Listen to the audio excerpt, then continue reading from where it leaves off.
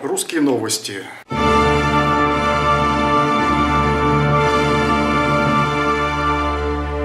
Мне иногда пишут, э, спрашивают, а как э, вообще правая повестка дня на этих выборах? Вот есть кто-нибудь правый? Ну, конечно, у нас на нынешних выборах правые просто исключены из участия в этих выборах. Э, и надо заметить, иногда путают левых с правыми, потому что либералы это, конечно, сугубо левые, в них ничего правого нет и быть не может, и правую повестку дня, естественно, они не оглашают. А, конечно, какой-нибудь там Жириновский может э, что-нибудь из правой повестки дня огласить, но это не значит, что он вообще собирается хоть что-нибудь делать. А у Путина, да у него вообще никакой повестки дня. Это пустое место, просто пустое место. Грабить страну, вот его повестка дня, дальше он может говорить все, что угодно. Это оккупант. И Грудинин. Ну, посмотрим на среднего, среднего гражданина Российской Федерации. Есть ли в нем какие-то правые воззрения? Вот э, Грудинин – это обычный человек. И в этом смысле он может лишь повторить то, что есть в сознании, в мировоззрении обычного современного человека, в котором, у которого в мозгах, конечно, осталось и много от э, того, что мы называем с презрением совком, хотя это и не всегда правильно, потому что э, русские люди жили и при советской власти, и оставались русскими, и вся эта коммунистическая мерзость к ним не прилипала, и все, что было русское, это наше достояние, все, что происходило в 20 веке, что делали русские люди, были у них партбилеты или нет, не имеет значения, а имеет значение, каково было их мировоззрение. Если там было все русское, то, соответственно, люди и жили по-русски, а не по коммунистическим заветам. Ну и, соответственно, и в сегодняшней жизни тоже много чего в сознании у людей есть русское. Вот посмотрим на э, те ответы, которые были у Грудинина во время его визита в Ростов-на-Дону. В целом, конечно, повестка дня в основном социальная, иногда прорываются там какие-то элементы прежнего образования в выступлениях Грудинина, то, что нам, конечно, вот со стороны правых э, неприемлемо, там Ленин, Сталин, социализм, там, но это тоже такие э, можно сказать, обломки. Это не какое-то целостное мировоззрение, которое для нас неприемлемо. Обломки каких-то вот прежних воспоминаний о уроках марксизма-ленинизма в институте, школьных лет и так далее. Но есть и вполне здравые мировоззренческие позиции по целому ряду вопросов. Приходит э, Грудинину вопрос о русских. Русский вопрос – Конечно, он, как и подавляющее большинство граждан, в этом вопросе не сведущий. И он отвечает примерно так, как э, отвечал бы я, когда меня спросили бы, а что такое русская нация. Я бы, конечно, сказал, что это политическая общность, и в русской нации могут состоять и представители других народов, если они с русскими заодно. Вот те, кто с русскими заодно, и составляют русскую нацию. Русский народ, естественно, это те, кто произошел от русских людей. То есть потомки своих русских предков. Но среди этих русских потомков есть много неруси, выруси, кто лишен э, русского мировоззрения. И эти люди, конечно, в русскую нацию никак не входят, хотя вроде бы им это проще сделать. Вот как отвечает о русском вопросе э, Павел Грудинин. Русский вопрос и интернациональное ваше видение – Слушайте, ну, абсолютно убежден. Вот, кстати, видели фильм про Сталина? Он так интересно там сказал, что я, говорит, не грузин. Я русский грузинской национальности. Русский, который говорит на русском языке, русский, который нашу культуру воспринимает как свою. И, например, у меня огромное, ну, сколько, больше 10 человек э, приехало с Донбасса. У них фамилии украинские, но они русские.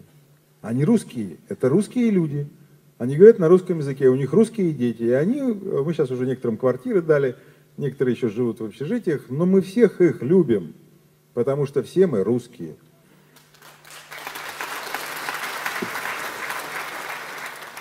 Конечно, этот вопрос освещен недостаточно, и его надо бы проговорить с кандидатом. К сожалению, коммунистический саботаж не позволяет нам проговорить э, все эти вопросы детально, о геноциде русского народа, о раскультуривании, об уничтожении русского мировоззрения, уничтожении русского государства, осквернении русской истории и так далее.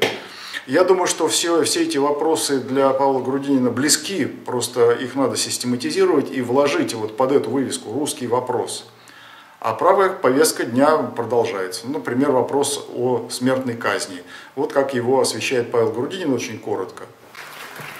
Смертная казнь, ваша позиция. Ну, я, вы же видите, жесткий человек. Я считаю, что если педофил изнасиловал ребенка, то он должен быть убит. Я уверен в том, что... Я не толерантен, но вы поймите, если ну, нельзя этих людей оставлять жить на этой земле. Поэтому вот такая моя позиция. Разумеется, мы здесь видим элементы того самого мировоззрения, которое мы называем правым. Для правых смертная казнь обязательна, и целая категория преступлений должна караться смертной казнью.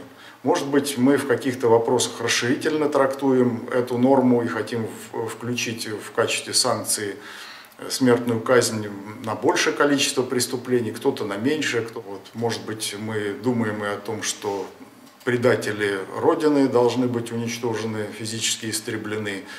Но когда дело дойдет до судебных решений, я думаю, что у многих ёбнет сердце, и многие подумают, э, ну а что ж мы должны там 100 тысяч человек из бывших чиновников уничтожить. Да нет, как-то это будет нехорошо. Все-таки это люди, от которых может пойти русский род, э, их дети, внуки, как-то вот э, так вот резать ножом по э, русскому родовому древу не стоит, даже если там какие-то ветви гнилые, сухие, вот их отсекать, это значит, есть риск нанести ущерб всему русскому древу. Поэтому мы, конечно, задумаемся об этом. Смертной казни подлежат изменники, которые нанесли очень существенный вред нашему Отечеству. Может быть, вот об этом стоило бы поговорить. Но уже хорошо, что Павел Грудинин понимает, что есть целый ряд преступлений, по э, которым должна быть санкция в виде смертной казни. Следующая позиция о мигрантах. Вот что говорит о мигрантах Павел Грудинин. Проблема мигрантов. Слушайте, а у нас в совхозе вот сейчас работает 80 иностранных работников. И никакой проблемы нет. Знаете почему? Они нормально живут. Мы их всех поселили в общежитие, они, один приехал, говорит, слушай, я первый раз в жизни горячей водой мылся. Он говорит, у них там другая жизнь. Они получают нормальную зарплату на уровне э, работников э, наших. Но я абсолютно убежден, что нужно вводить трудовые визы. Нечего пускать всех подряд в нашу страну. И они там должны получить, спасибо, они там должны получить, показать, что они знают русский язык, что у них э, э, нормальная медицина, мы тут можем их проверить. Но там они должны получить вызов к нам, а работодатель должен за них отвечать. И если он перестал работать, его надо посадить, выдать ему зарплату и отправить обратно к себе. Это абсолютно надо. Мы бы, наверное, эту тему осветили более жестко, но уже понятно, что у нас здесь есть точки соприкосновения и есть общая позиция. Есть желательные мигранты, есть нежелательные. Если у нас есть необходимость привлечения мигрантов, мы можем это сделать. Ну, например, у нас есть большие неосвоенные территории. Мы можем на время пригласить мигрантов, скажем, поработал полгода, отправился домой. Через пару лет может еще раз приехать, еще поработать. То есть рабочая сила, которая нам нужна для, например, прокладки дорог, для возведения каких-то крупных сооружений, и мы не можем набрать у себя в стране соответствующую рабочую силу, потому что люди предпочитают жить там, где они родились. И вот переехать на новое место, строить новые города далеко не всегда э, готова большая масса людей. Тем более, что вот приехали строители, построили, а дальше куда они должны деваться? Они должны менять профессию, чтобы остаться на этом месте, или ехать строить э, следующий город. Вот таких кочевников, конечно, набрать тяжело. Ну, поэтому могут быть, э, могут быть привлеченные мигранты, конечно, не в таких масштабах. И вот этот цинизм нынешней власти, давайте мы заселим вообще всю страну мигрантами, он нам абсолютно чужд, и мы категорические противники такой политики. Я думаю, что Грудинин мог бы на те места, которые у нас у него занимают его хозяйство мигранты, набрать э, граждан, которые э, оседло живут там, в Московской области, в Москве. Но московские власти создают такие условия, что рынок труда разгромлен. И когда Собянин говорит, что у нас 2 миллиона вакансий, которые якобы не хотят занимать граждане России, это, конечно, ложь. Это ложь. Граждане России готовы работать на всех видах работы, если только за них будут платить достаточно, чтобы кормить свою семью и нормально жить. Но Собянин предполагает заселять Москву и Московскую область вместе с Воробьевым, губернатором Московской области, мигрантами, потому что ими легче управлять. Им дал команду, они пойдут и проголосуют. На местных выборах, кстати, им разрешено голосовать. Но и на выборах общефедеральных легко эти люди используются в каруселях, им дают чьи-нибудь паспорта, и они ходят, ездят по участкам. Это известная вещь, уже ловили за руку таких людей. И вот эта массовка, это, конечно, люди э, асоциальные, аполитичные, не являющиеся гражданами, гражданами, не имеющими гражданского самосознания. И, конечно, их всех надо отправлять домой. Всех, э, всех без исключения, просто всех. И даже тех, кто здесь семьи завели, всех туда. Если кто-то тут с гражданином России переженился, мы можем легко лишить гражданства, пожалуйста, отправляйтесь к себе домой. Нам э, не нужны здесь мигранты, не нужны. Их социализировать надо несколько поколений. Это колоссальная нагрузка, колоссальные затраты на бюджет и вообще на, на нашу жизнь. Нам мигранты не нужны. Вот Павел Грудинин понимает, что есть э, нужные мигранты, а есть ненужные. Если мигрант перестает работать, начинает бить баклуши, включается в криминальные структуры, то, конечно, его надо паковать и отправлять любым способом либо в концлагерь фильтровочный, да, так вот, чтобы его там приучить к работе, чтобы он там набрал денег и отправить его в любую страну, которая его готова принять. Ну, прежде всего, на родину, откуда он происходит. Либо, если у него есть деньги, то билет ему в руки и до свидания, пусть отправляется. Так что этот вопрос в правой повестке дня Грудинин тоже освещает. Я бы не сказал, что э, подробно и с полным пониманием дела, тем не менее он готов к этому пониманию, и нас это радует. Еще один пример, э, вопрос о казачестве. Мы подготовили для Грудинина такую записку о том, что стоит говорить, о чем не стоит говорить. Лишнего он не сказал, вот послушайте, что он высказал по вопросу о возрождении казачества. Казачество. Ваше предложение по взаимодействию казачества и государства. Ну, вы знаете, что принят закон, и я абсолютно убежден в том, что, кстати, если вы читаете нашу программу, там тоже это есть о местном самоуправлении. Слушайте, ну если казачья станица, она должна самоуправляться сама. У них э, долгая история. Эти люди всегда служили государю, они всегда служили государству. И их надо поддерживать. Но честно, я не согласен с тем, как вот это бывает – когда вдруг эти э, псевдоказаки, ряженые такие, начинают нагайками разгонять э, митинги, демонстрации. Власть не должна и не может их использовать для вот этих внутренних конфликтов. Они должны наводить порядок.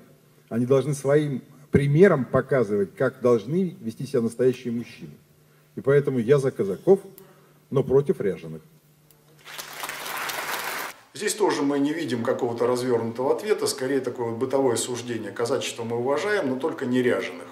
Ряженых действительно достаточно много, но все это связано с э, тем, что власть пытается подкупить казаков, превратить их в полицию, в своих халуев, и таких халуйствующих казаков много. Владимир Путин собирается, халуи ему очередной раз присягнули. Можно и ходить по-любому, по развешать непонятных медалей, лампасы, там, звания непонятно откуда полученные. Все это вот так называемое реестровое казачество. Не скажу, что там все являются негодяями, но сама система, конечно, негодяйская. И разрешать проблему возрождения казачества надо прежде всего признанием геноцида казачества в период большевистской революции, оккупации и, и массового истребления казаков. Документы сохранились, память у казаков о этом периоде сохранилось, надо признавать это и признавать необходимость революционных мер, которые имеют и политический характер, и историко-культурный, и прагматический, потому что казачьи станицы надо возрождать по, всей, э, по всем границам Российской Федерации. А впоследствии, наверное, должны быть, когда будут присоединяться территории, отпавшие от России, на новых границах должны быть казачьи поселения. Статус казачества должен быть, да, это военизированные граждане, как бы Э, то, что в других странах называется национальной гвардией. У нас вот Росгвардию придумали, конечно, это никакая не гвардия, это просто внутренние войска переименовали. Раньше были внутренние войска, какое-то непонятное название, это что это за внутренние войска? Воевать с собственным народом? Ну, поэтому убрали эту бирку, собрали вообще все дееспособные там спецназы и так далее. Это гвардия Путина, то есть гвардия оккупантов, это супероккупанты. Вот все, кто там служит, э, находятся под статьей о государственной измене, все без исключения, ну, а руководство прежде всего. Я понимаю, что кто-то исполняет свои обязанности честно и достойно и не притесняет граждан, а кто-то использует для наживы свой статус, для совершения преступлений, этих фактов уже полно.